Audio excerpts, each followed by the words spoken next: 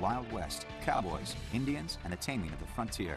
For lawmen and outlaw alike, this is the rifle of choice in the Old West. It was fast, powerful, and deadly accurate. Now, the Winchester on Modern Marvels.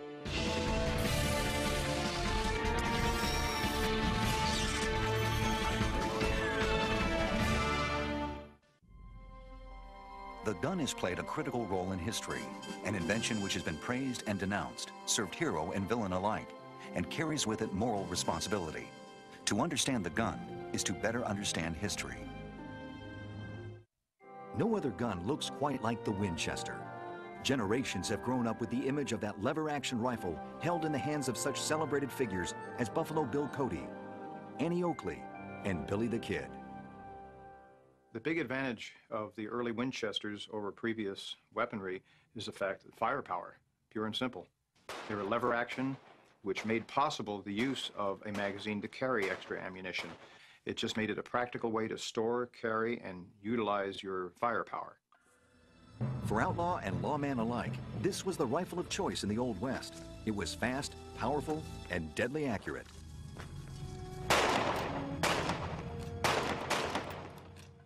During his days as a hunter and a rancher, Theodore Roosevelt relied on its rapid fire ability. He called it the best weapon he ever had. It is, of course, the Winchester that is familiar to anyone who has ever seen John Wayne swing his rifle up in movies like Stagecoach and True Grit. And it is the object of James Stewart's pursuit in his movie Winchester 73. Seems they knew all about your Springfield being single shot. You mean they had repeaters? Yeah. Only this time we just might outfox them. On account of we got two Winchesters. But long before it was a movie prop, the Winchester repeating rifle was an indispensable tool in a dangerous and remote frontier. It was a lifesaver and a way to put meat on the table. Like the axe, the horse, and the wagon wheel, the Winchester was a necessity. The story of the Winchester begins with the opening of the American West. In the 1850s, before the repeating rifle was invented, pioneers carried single-shot rifles like those made by the Sharps Company. The Sharps traveled with many wagon trains from the Mississippi to the Rio Grande. It also convinced Native Americans like the Cheyenne and the Sioux that bows and arrows could never stop the advance of white settlers. But while the Sharps was a great improvement over the muzzle-loading rifles and muskets that it replaced, it still only fired a single shot. And then had to be reloaded. In the 10 seconds it took to complete this task, a wounded animal could strike back or get away, and an Indian warrior could land a death blow. The Winchester changed the shape of battle in the sense that with a single shot muzzle loading or even a breech loading arm, it just took a lot longer in between shots. But as long as you had ammunition in the magazine of the Winchester, there was nothing that could beat it. The development of the repeating rifle began with New York City inventor Walter Hunt. Hunt had already invented the safety pin, the lock-stitch needle, and the fountain pen. In 1848, he patented a loaded bullet which he called the rocket ball. It's essentially just a lead ball, but when you turn it, you can see that it's got a plug in the base. That plug is covering some black powder and a very small disc of fulminate of mercury. Hunt's next step was to design a gun that fired his rockets one after another without stopping. In 1849, he was granted a patent for a repeating firearm that held the ammunition in a tube under the barrel. He called his contraption the volitional repeater. The heart of the volitional repeater was a lever-activated mechanism. When cocked, it brought the bullets from the tube up into the chamber, ready for firing. While the design of this forerunner of the Winchester was sound, it did have its shortcomings. The patent called for small, delicate parts that made the gun troublesome to build and operate. Another serious fault was the size of the lever, which was only big enough for one finger to operate it. Because Hunt lacked the funds to promote his invention, the volitional repeater was never mass-produced. The only known example is housed today in the Winchester collection at the Cody Firearms Museum in Cody, Wyoming. Hunt's basic design was later improved on by a talented gunsmith named Lewis Jennings. Jennings made the gun more reliable by simplifying the repeating mechanism. The result was patented on Christmas Day 1849 and called the Jennings rifle. The rifle's long barrel was made of wood and it retained the small finger loop lever of its predecessor. But the Jennings was a commercial failure. It was awkward, and its ammunition was not powerful enough for big game or long-range firing. Only 1,000 were made before production was halted. No one knew it at the time, but the basic design and layout of this failure would be carried forward into one of the most successful guns the world has ever known. Though it didn't look much like the Winchester familiar in the hands of cowboys and lawmen, this was the great-grandfather of the gun that won the West. But before the name Winchester came to be associated with it, there would be more improvement and innovation. This would come from a legendary pair of gunmakers known by the names Smith & Wesson. Their contribution promised to be nothing short of volcanic. Buffalo Bill claimed he once used his Winchester rifle to put 11 bullets into the stomach of a bear that had been charging him from 30 yards away. The Winchester on Modern Marvels will return in a moment. Life was tough for those brave enough to venture into the West in the 1850s. Their search for a better life brought them face to face with hostile native people and an unforgiving wilderness. But if Americans had been content with weapons from the past, their westward migration might have stalled somewhere between Ohio and Missouri. In the 1850s, an advanced weapon was being developed. This was the repeating rifle. First, there had been the one-of-a-kind hunt repeater. Then its successor, the Jennings rifle, went into production at the Robbins & Lawrence factory in Vermont. Although it failed to attract a following, it did get the attention of two gunsmiths at the factory. Those two were none other than Horace Smith and Daniel Wesson. Wesson, an experienced gunsmith, was working at the Robbins & Lawrence factory in 1850 when he had begun experimenting with the failed Jennings rifle. At about the same time, Horace Smith was hired at the factory to further develop the Jennings rifle. Smith was an established arms maker and had his own shop in Norwich, Connecticut.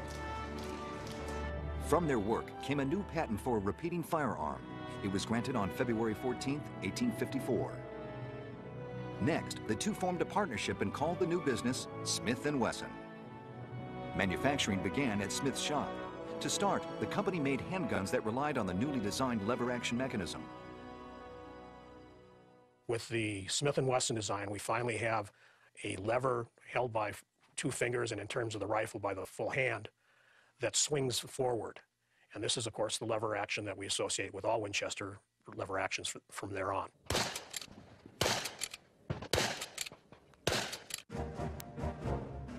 Smith & Wesson's design offered the ability to load as many as 30 bullets into the magazine under the barrel. Its rapid-fire capability suggested a dramatic trade name. The new firearm was christened the Volcanic. With the addition of a shoulder stock onto the handle of this long-barreled pistol, the Volcanic looked almost like a rifle. The evolution toward the Winchester of the future had begun. Smith & Wesson claimed that their Volcanic could be loaded in less than a minute, and that its ammunition was waterproof. Its proportions were said to be light, compact, and even elegant. The workmanship was advertised as perfection. By 1855, Smith & Wesson were looking for investors. This iron-framed lever-action repeater was produced by the firm as a demonstration sample. Richly engraved, they hoped it would promote business and attract venture capital. With this prototype, Smith & Wesson had once again crafted the shape of things to come. I don't think we can overestimate how much impact they had on the final design of the, the Winchester rifle because their 1854 patent and the way they manufacture the gun carries primary designs that stay with us for years and years with the Winchester. To further promote the business to investors, Smith & Wesson renamed their firm the Volcanic Repeating Arms Company 40 local businessmen, including clockmakers, grocers, bakers, and shoemakers, bought in hoping to get rich on the prospect of repeating rifles. One of the new backers was a successful shirt manufacturer from New Haven, Connecticut, who catered to an upscale clientele. He bought 80 shares at $25 each. His name was Oliver Winchester. When Oliver Winchester invested in the Volcanic Arms Company, he knew absolutely nothing about firearms. To him, it was a mere investment. Winchester was born in Boston in 1810. At the age of seven, young Oliver went to work on a farm. He attended school in the winter when it was too cold to work outdoors. By the age of 20, Winchester had become a skilled carpenter. He moved to Baltimore, Maryland, where he supervised the construction of numerous buildings and homes, as well as a church. At 24, Winchester moved to New Haven, Connecticut, and opened a men's clothing store. Later that year, he began to manufacture a line of men's shirts that were cut with an improved pattern. In 1848, he patented this design and opened a factory in New Haven, Connecticut. The business was lucrative, and by 1855, the company grossed $600,000 per year. Oliver Winchester is a strange duck. Uh, he's a man who's growing up in New England. He's mainly a shirt manufacturer. He gets his money with that, but he knows enough to realize that firearms are making tremendous strides. And he gets into the ground floor of that by investing in the Volcanic Repeating Arms Company. But the company that Oliver Winchester had invested in was heading for trouble. The Volcanics, of course, had the, the great novelty effect of, of being a repeating system. You could just crank out a lot of shots in a hurry. But the cartridge that they used, which was a hollow-based lead bullet uh, with a very small powder charge, could not propel the, the projectile to any great distance eh, or with any kind of hitting effect. The idea was great, but it was a commercial flop. Sales of the Volcanics were poor, and the company was falling into debt. Most of the investors pulled out, even Smith & Wesson. They wanted to concentrate on developing the revolvers that would someday make their names legendary. Winchester was left in control. By 1856, he was both president and treasurer of the Volcanic Repeating Arms Company. Although the problems with the guns and ammunition weren't going away, Winchester had the idea that a name change might help solve these issues. In 1857, the Volcanic Arms Company became the New Haven Arms Company. The factory employed a workforce of 50 machinists and gunsmiths, as well as a team of women who worked in the ammunition department. The man in the window was Oliver Winchester. In advertising, Winchester made early use of testimonials to persuade dealers to carry his firearms. An 1859 broadside boasted these first-hand reports. Gentlemen, I consider the volcanic repeating pistol to be the highest point of repeating arms. It has no equal and excels in rapidity, efficiency, and certainty of execution. Its ball is waterproof and cannot be damaged by any change of climate, and is surefire even after having been loaded for a trip around the world. In spite of small pockets of enthusiasm for Winchester's repeating arms, sales remained low. His guns were hobbled by weak ammunition, and unless that was improved, the business was doomed. As rumors of civil war circulated and the market for firearms out west expanded, Winchester raced to develop the perfect gun and cartridge. It would be powerful, dependable, and profitable.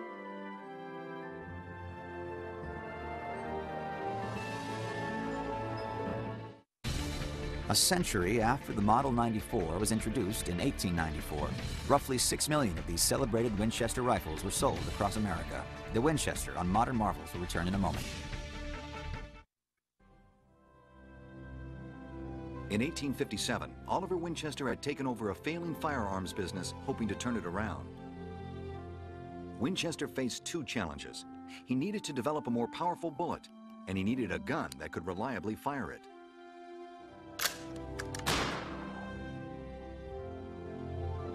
Winchester was a new type of entrepreneur in the firearms industry. Up to this time, prominent figures such as Eli Whitney, Eliphalet Remington, and Sam Colt had been investors and skilled machinists who had experience with firearms as well. But Winchester entered the trade with only a background in shirt making. It was in fact from his shirt business that Oliver Winchester found the designer he needed to solve his problems and make history. In 1857, Winchester hired Benjamin Tyler Henry to be plant superintendent of the New Haven Arms Company. Henry had been master mechanic at the Winchester Shirt Manufacturing Company in the 1850s. There, he repaired and maintained the 500 foot pedal sewing machines that were in use on the production floor. Henry had apprenticed as a gunsmith when he was 16 and had worked in various New England gun shops as well as at the Springfield Armory. Under Henry, manufacturing continued on the old volcanic repeaters while he experimented with new cartridge designs and an improved repeating rifle. According to his memoirs, Henry lived in the shop sleeping just an hour or two at a time. Day and night were the same to him, and rumors of war pushed him to perfect a gun and cartridge that would be dependable and attractive to the Army. When Henry developed his rifle, it was sort of the acme of firearms development at the time. In design and function that had no equal. Winchester realized that the future of the rifle was to make as many as possible and sell them as quickly as possible for federal use. The rifle Henry developed would mark a turning point in firearms history. Building on the foundation of the volcanic mechanism designed by Smith & Wesson, Henry designed a repeating rifle that fired larger, more powerful ammunition. It was called the Henry Repeating Rifle. Its ease of use and reliability were unparalleled. All you had to do was throw this lever, and when the lever came back, the hammer was already cocked, and the new cartridge was fresh in the breech. The magazine was right underneath the barrel, uh, fed by this uh, spring, and uh, this was the first practical lever action firearm ever made. B. Tyler Henry patented the rifle in 1860 and granted its ownership to Winchester's New Haven Arms Company. Production began there in 1861. At the same time, the factory began making the new cartridge Henry had made for it. Henry's primary improvement to cartridge design was the development of a 44 caliber self-contained metallic cartridge. The powder is contained in a copper shell. The bullet is placed at the top of that shell. When it was fired, the bullet would move forward through the barrel. The shell casing itself would remain in the breech of the barrel and then could be extracted from it. The design of the metallic cartridges made them easier to carry. They could be stored loosely in a box without breakage or loss of a fragile cork stopper. And while earlier cartridges claimed to be waterproof, the Henry cartridges actually were. Loading was fast and efficient as well. The front-loading um, Henry magazine had a uh, slide with on a, on a spring. And you had to pull that up and then twist the barrel back. That opened the magazine for dropping in the cartridges with the butt end first. After you drop them all in, give this a twist, and you're ready to go. In April 1861, with the firing on Fort Sumter, America was plunged into its grim Civil War. Just over a year later, in July of 1862, the first of Winchester's Henry rifles appeared on the market. Chief benefit of the Henry rifle during the Civil War was that it provided an enormous amount of firepower to anyone who was using it. You could discharge it 14, 15 times in a space of a minute. And when you're faced with a opposing forces more likely using single-shot musket, that meant that one cavalryman or infantryman using a Henry was the equivalent of 14 or 15 standard infantrymen. Confederate Colonel John Mosby and his Rangers became infamous for their raids against advanced Union positions. When he encountered the Henry in battle, he called it that damned Yankee rifle that can be loaded on Sunday and fired all week.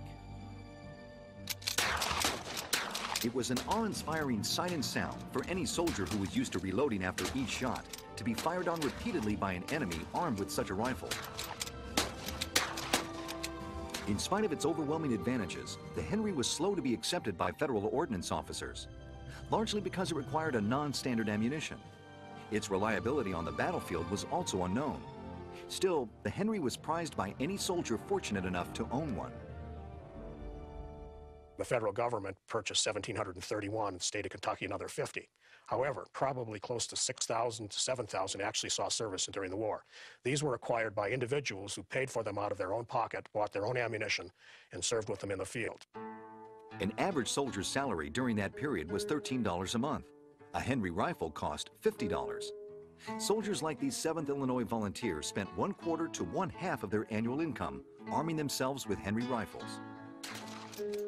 It was a small price for a soldier to pay in order to win a battle and return home with his life. This rare surviving Civil War Henry rifle belonged to a Western sharpshooter of the 66th Illinois Regiment. He was so proud that he had his firearm engraved at extra cost with his name and the name of his outfit. Most of the time when firearms are engraved in the Winchester line, it's because the customer ordered it for himself. However, among the exceptions, uh, Winchester himself was responsible for a Henry rifle that was given to President Abraham Lincoln. Abraham Lincoln was presented with the sixth Henry rifle to come out of the Winchester factory. Its frame was plated in gold and intricately engraved and inscribed. Similar Henry repeaters were also presented to Secretary of War Stanton and Secretary of the Navy Gideon Welles. This was not just an act of generosity, it was a shrewd marketing ploy. This was a time of war, and Winchester hoped to acquaint people in power with the benefits of his new rifles. Just as important, with presentations like these, Winchester began a sense of legend for his rifles, a legend that has endured for nearly 150 years. Since Lincoln's time, presentation Winchester rifles like this one, given to President Eisenhower in 1960, have remained an American tradition. Every elected president since Lincoln has been presented with his own inscribed Winchester rifle by the factory.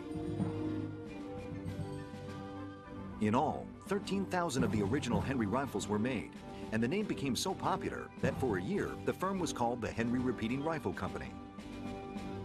Stamped on the barrel of each rifle made was B. Tyler Henry's name. But by 1866, Winchester would change the name of his company and improve his rifle once again. This time, though, he was to call them both Winchester.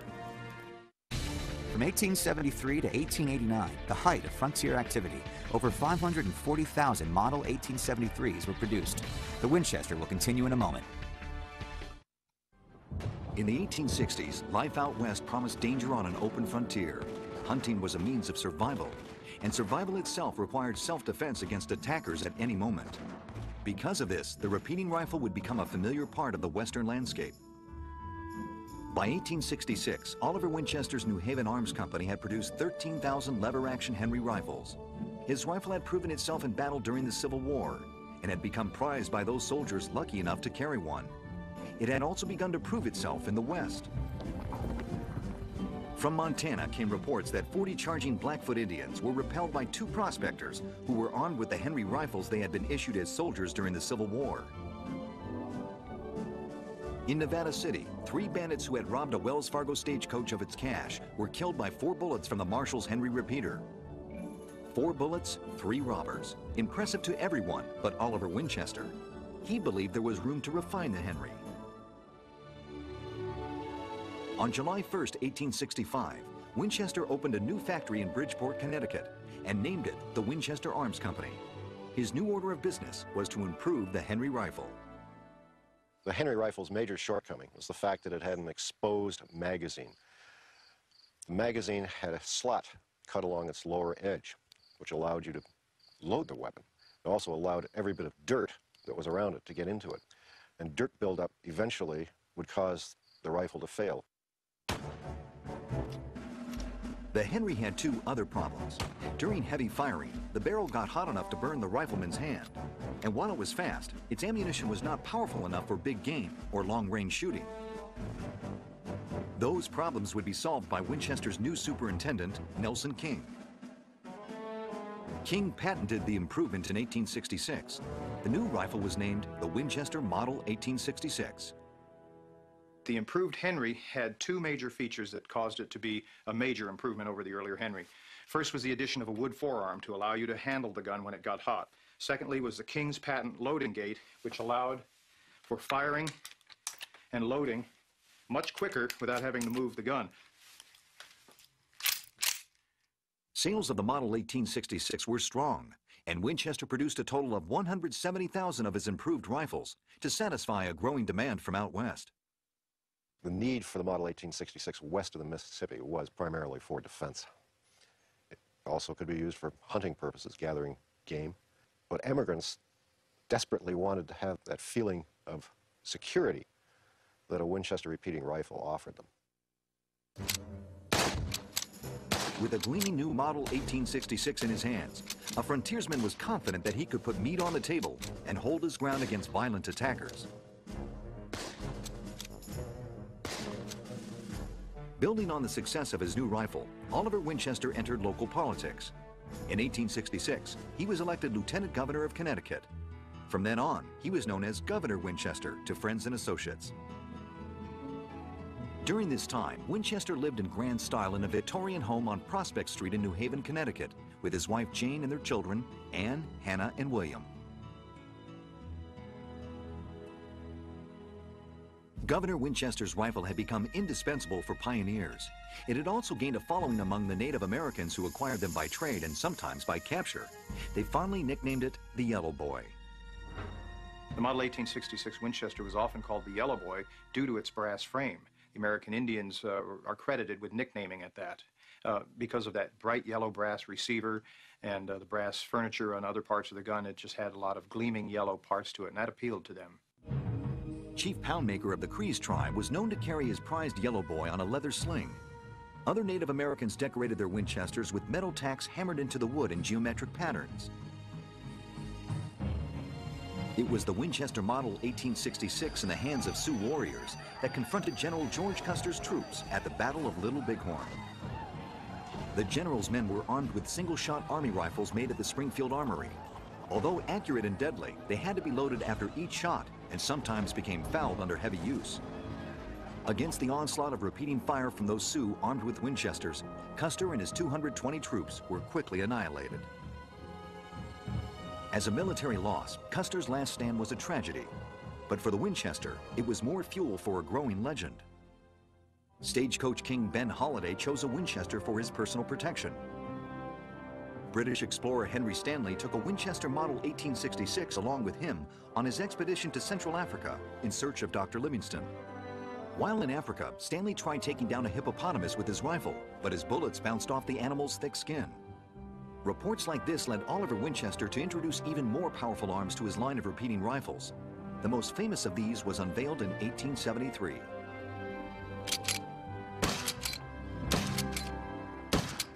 This is the model 1873 Winchester.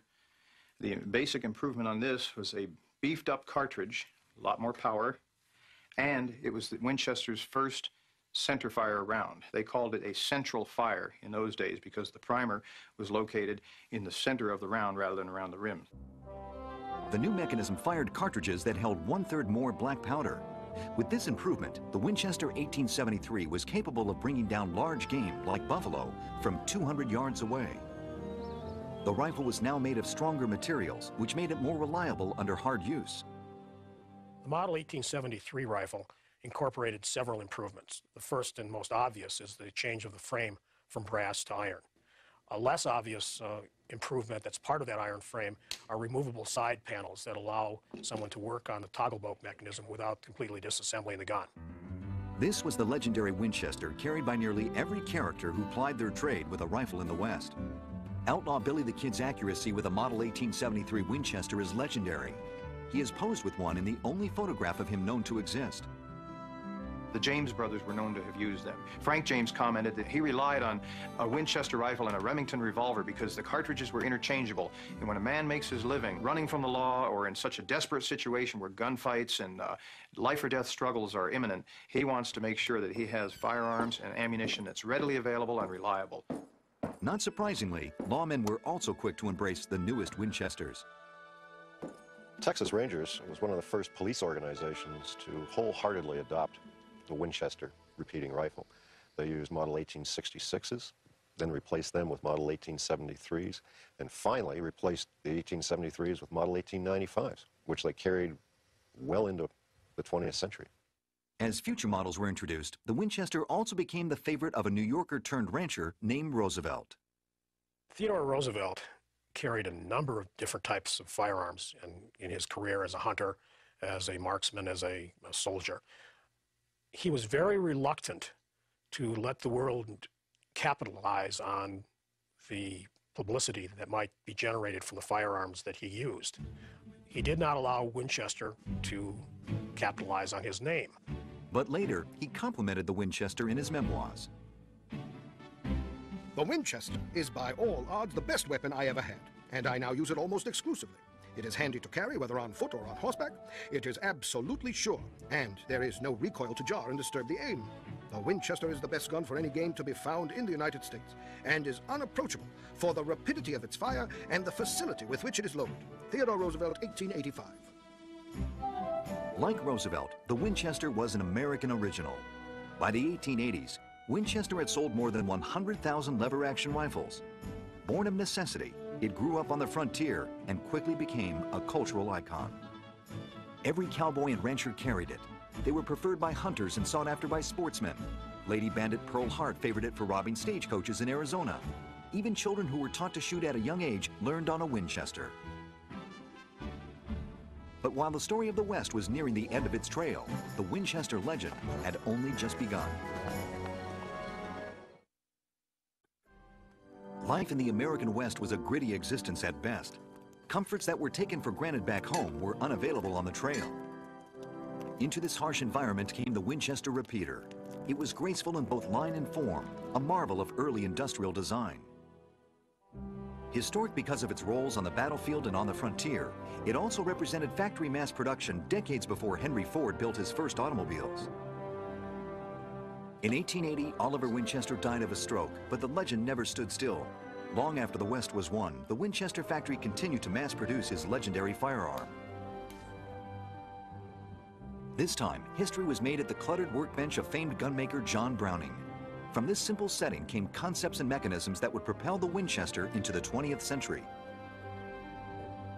John Browning was the most brilliant and prolific inventor in the history of gunmaking. And his relationship with Winchester began with a single-shot rifle that uh, he had developed in about 1886. Beginning with models like the 1886, the Winchester Repeating Arms Company began using the patents of John Browning. These changes in design make the lever action significantly stronger. They could withstand the pressure of larger and more powerful black powder cartridges. By 1894, there's a new powder on the market. It's called smokeless powder. It develops a lot higher gas pressures. And the model 1894 was specifically developed to handle those cartridges. The 94 successor, the Model 1895, was favored by enthusiasts like Theodore Roosevelt and the Texas Rangers, who were quick to upgrade their aging Winchesters with new models. The posse that went out in pursuit of Wild Bunch leaders Butch Cassidy and the Sundance Kid brought at least three Winchester 1895 rifles along with them. But the man who did the most to promote the image of the Winchester was William F. Cody. In a life that was part legend and part fabrication, Cody came to be the best known and most colorful spokesman for the American West. His alter ego was Buffalo Bill. As the hero of Western dime novels, he was often armed by the authors with a Winchester rifle in his fights with the Indians and outlaws. In 1883, he organized Buffalo Bill's Wild West, an outdoor extravaganza that dramatized some of the most picturesque elements of frontier life. His rifle of choice, the Winchester 1873. Part circus and part history lesson, the Wild West included a buffalo hunt with real buffaloes, an Indian attack on a stagecoach with real Indians, and at the climax, a vivid dramatization of Custer's last stand. The Winchester became the rifle that most emulated the look of the Old West. And when Buffalo Bill Cody would ride into the arena uh, shooting blanks at the herd of buffalo to simulate an old buffalo hunt, it was often with a Winchester rifle. The show proved an enormous success, touring the country for three decades and playing to enthusiastic crowds across Europe. In later years, Buffalo Bill's Wild West would star the sharpshooter Annie Oakley. Annie and her Winchester helped mold the national myth of frontier life that still endures today. But the gun that won the West wasn't really called that during its heyday on the frontier. The fact is, it took many guns to win the West. It was the large caliber Sharps rifle that destroyed America's buffalo herds and decimated the Native Americans' means of sustenance. It was the Colt Peacemaker revolver in the hands of lawmen that kept order in frontier towns. Still, it is the Winchester that remains indelibly linked to the taming of the West. The reason is simple good marketing. It was in 1919 that the Winchester Company launched a new ad campaign. To capitalize on the popularity of the lever action. Edwin Pugsley, who was vice president of the company at the time, came up with the phrase Winchester, the gun that won the West. It was first used in July of 1919, and much to everyone's surprise, it caught on.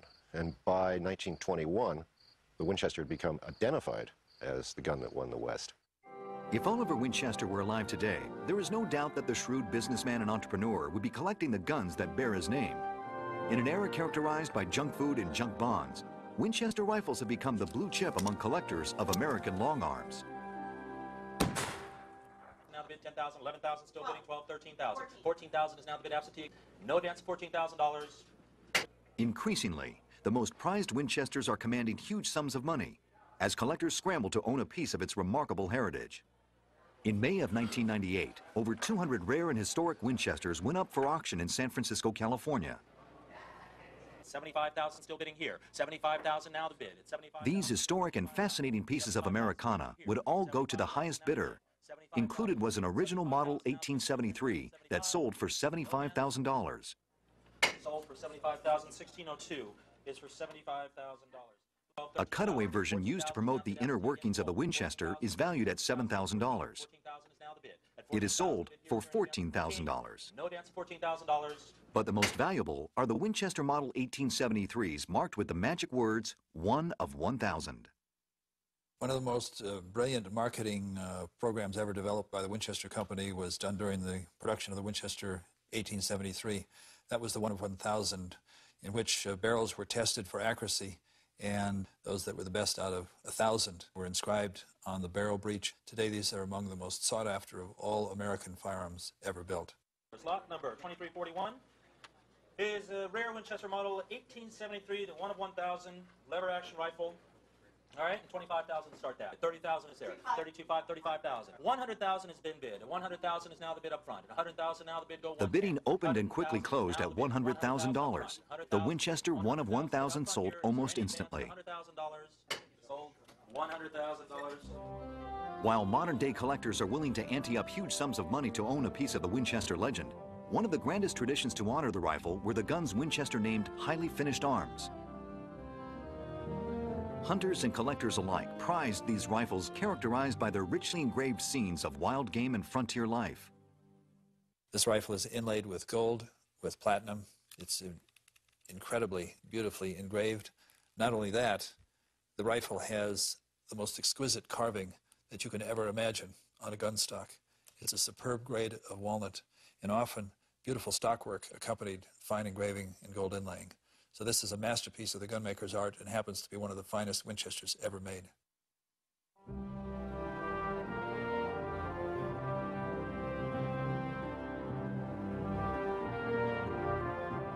Oliver Winchester made his guns legendary. While the American West was won by many firearms, it is the Winchester that still conjures up that spirit of adventure and stirs the imagination with tales of cowboys, outlaws, frontiersmen, and the legend of the Winchester, the gun that won the West. I was walking down the main street in Moscow. I saw a Russian policeman sleeping in the car, and I saw the side in the back seat, and I reached in and I grabbed it. You got some man. You're lucky you made it back here alive. How'd you really get it? The new big season of Pawn Stars, Monday at 10 on History. How badass do I look?